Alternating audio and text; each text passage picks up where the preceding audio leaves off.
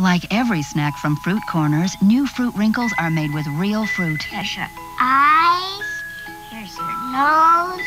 They're a good source of vitamin C. Here's your mouth. In spite of that, Julie thinks they're pretty neat. Oh, don't look sad. You look cuter with a smile. If it comes from Fruit Corners, it's made with real fruit. I Love your eyes. Oh, Pop, I can't see. Fruit Wrinkles from the makers of Fruit Roll-Ups and Fruit Bars.